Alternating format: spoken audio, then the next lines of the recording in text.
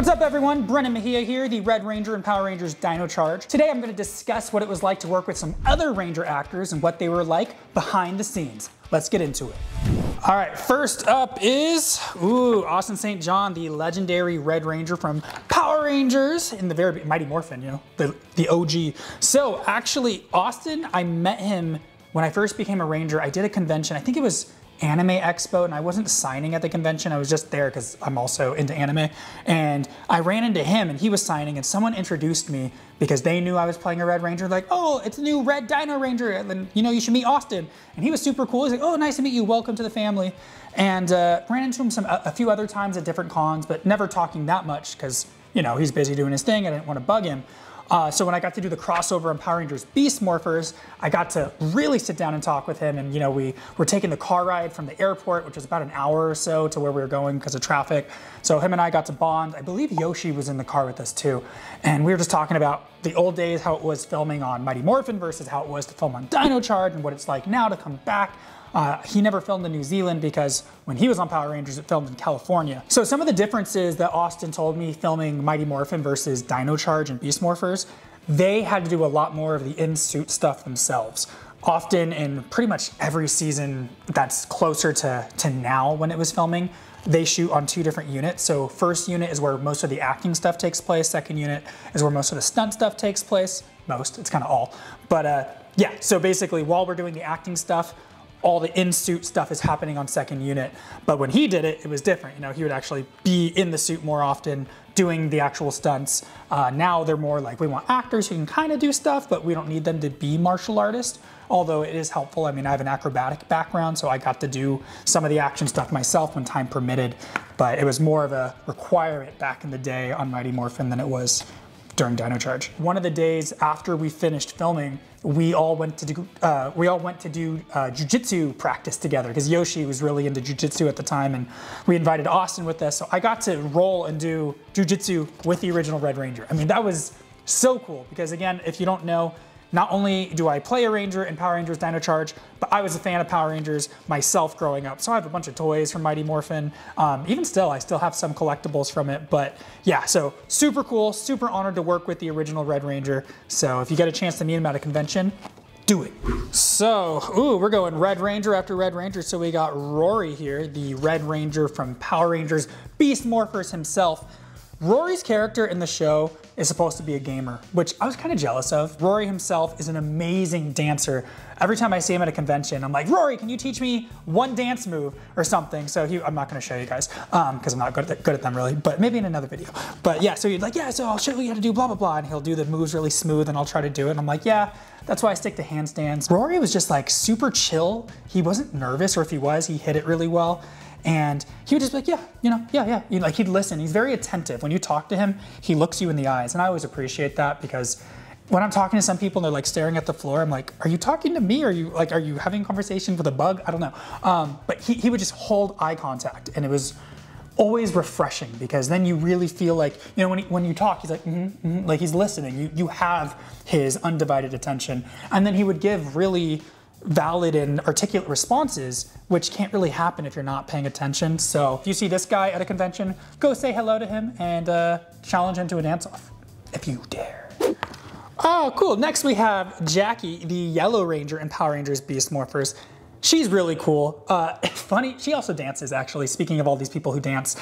Jackie, so a lot of the Rangers and Power Rangers Beast Morphers, they went and trained with Mike Chat, who is a previous Blue Ranger himself. Uh, he does martial arts and XMA and does like the, I, I, don't know if he does it now, I think he still does, but he would do like morning stunt training and fight training for people who wanted to be in the industry. And I believe she did private lessons, lessons with him before booking Beast Morphers.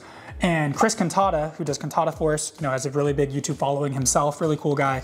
He was invited, as was I, to go to one of Mike Chat's trainings before Jackie went to go film Beast Morphers. So I went with Chris and I actually did a fight scene with Jackie at Mike Chat's gym, which was super cool. So you can see her beat me up. And I think at the end I say something like, yeah, I approve. She's Ranger approved. She can handle herself, something like that. So at Power Morphicon, it was the year that they announced Beast Morphers. I was there, you know, just as like me for Dino Charge, um, signing autographs and Chip, the director of Dino Charge also directed Beast Morphers. And I saw him there and he's like, you know, yeah, maybe, you know, maybe we'll see you back in New Zealand one of these days.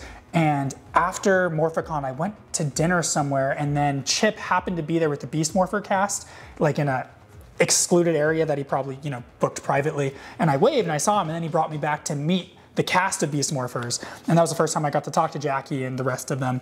And that's, and Chip was like, yeah, yeah, I know, maybe, maybe we'll see you back sooner than you think. And then that led to me coming back for the crossover. So yeah. Ooh, we got Jazz, Blue Ranger in the house. We actually joke how I could be his stunt double because I do stunts as well.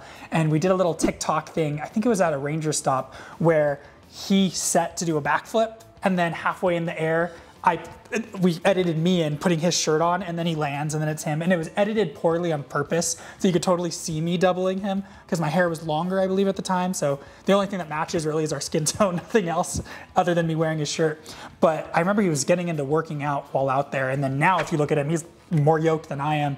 So Jazz is a great guy. Uh, I want to work out with him more. I only got to go to the gym I think one time when I did Mountaineer Comic Con with him but yeah, I just don't get to see these guys as often. You know, it's it's a bummer. Whenever you see them, you always like catch up, and you're like, dude, you know, no time has passed. But time has passed, and we get older, and it's sad. And I want to do more crossovers because I love hanging out with these guys. If you see Jazz, tell him Red Dino says hi. Ooh, we got Liana next. So she in the show was like a good guy, and then becomes like a bad guy, kind of ish. When we all got to New Zealand, Chip invited us to a dinner just to kind of introduce and get to meet everyone. And so that was more the first time I had conversation conversation with her. But I actually got to know her better after Beast Morphers at conventions. We sat next to each other at what was it, um, Pasadena Comic Con. And so she was telling me how she was doing a YouTube channel and I, her fiance at the time, now her husband, was there too. And so just getting to talk to both of them is really cool. Um, Faith based as well, like myself. So we kind of bonded over that. And I always just love being able to talk to people who share that connection because in LA, you know, Hollywood in general, you never know when your next job is coming and it can be very, very stressful. But I don't know, when you trust in God, it's kind of like, it's easier to just go with the flow with it. It's like, I don't know what's happening tomorrow, but I've made it this far and something always happens, like XYZ. In the crossover, she was just playing the villain and I didn't have a scene where I like fought with her or anything. Um, and she wasn't on the base because she wasn't a good guy at the time. She was still the bad guy, Roxy. The one time everyone went out after dinner and got to like, they went to a club to go hang out. I didn't get to go because I had an audition for Sabrina, the Netflix show at the time. I auditioned for a big character on that and I wanted to go make sure I was ready for it. You always want to be prepared for that next job, but I wish I was able to focus more and enjoy the job I was on because I was on location in New Zealand wanting to hang out with everyone. But I was like, I also want to, you know, book that next job. And I didn't even book it. So I literally didn't hang out with them and I didn't book the job the choices we make and the things we have to live with. Oh well. Ooh, we got some gold, Abe baby. So Abraham, I can't remember the story exactly, but we all had a dinner together with the Beast Morpher cast, and Abraham thought Austin was like the, the, the, the driver or something. He didn't recognize him, and he introduced himself in such a way that he didn't put two and two together that Austin's the original Red Ranger, and he was like, Sorry. It, it was just so funny because, you know, it's like, oh, nice to meet you. I'm like, you know, I'm one of the Power Rangers. Who are you? And he had no idea. Uh, so whenever him and Austin see each other, they joke about that. He also writes poetry, so he was releasing his second book soon. Oh, a story with him and Davi, though. Davi actually met him. Davi's my Gold Ranger from Dino Charge. And they, they were telling me when we were out after filming one of the nights that Davi was like talking to him like at a party or something, and then he ended up booking gold. And I don't remember if Davi might have even like helped coach him or something weird like that happened where the world is so small and you never know how things interconnect. And then after them meeting, and then he became gold. So it's just super cool that my gold in some way influenced their gold to getting the part and just it's amazing because you know little things you, it's like a wave in the ocean, you know, it like affects another thing and another thing. That's kind of how it seemed to be with Power Rangers and all the interconnections between us and other cast members. Ooh, Peter Sudarso! I love Peter. I mean, if you have the last name Sudarso, apparently I love you because it's either Yoshi or Peter. If you don't know Yoshi Sudarso, Peter's brother, is the Blue Ranger in my season. Peter is the Blue Ranger in Ninja Steel, and they're literally brothers, like legit blood brothers, who both became Blue Rangers one season to the next. That just still blows my mind. I mean, I don't know. The reason I even bring up Peter, you're like, okay, yeah, Peter's cool, but when did you work with him? Good question. So I didn't work with him on Power Rangers, but we're actually connected in three different universes, if I'm not mistaken. So we're both in the Power Ranger universe, right? We did a web series or a webtoon. Um, if you're familiar with the webtoon The Boxer, so we did like a, a, live action trailer for The Boxer, and him and I fight each other. And it was really cool. We actually carpooled together to Vegas, and that was kind of the first time I really got to like hang out, hang out with Peter. And so we drove and got to hang out and talk for like four hours there. We stayed in a hotel, you know, different rooms, but like we just, anytime we weren't filming, we were hanging out together. So yeah, that's uh, Universe 2. So we're in Power Rangers together, we're in the Boxer universe together. But then we both were in different episodes of Supergirl on the CW.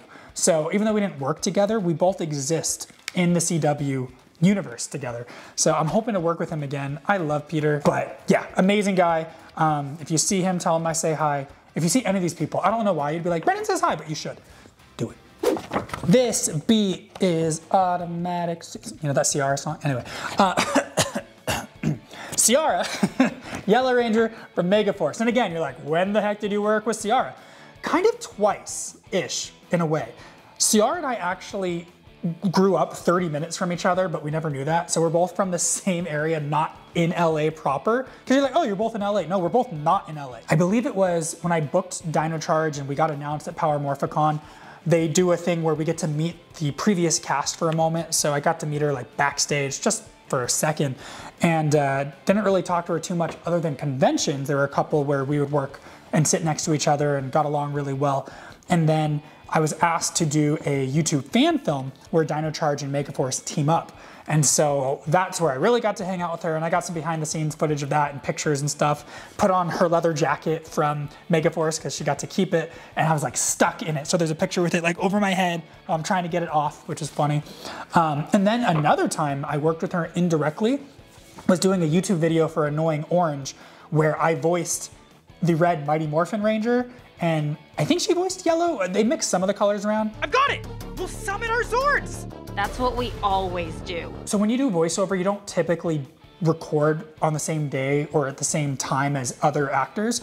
So we didn't come in at the same time, but in the finished project, project, in the finished product, you could hear us interacting together, even though I never actually worked with her on it. We were both in the project together. So Ciara's super sweet, lovely girl. Oh, I actually did a handstand on her too. I do a handstand on like every Ranger, so that actually goes for all of these that you've seen.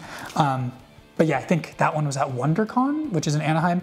Um, there's a video of me doing a handstand, like she's flexing like this and like a half split kind of thing. So yeah. So these aren't the only Power Ranger actors that I've had the pleasure of working with. So if you want to hear more behind the scenes stories, watch this video.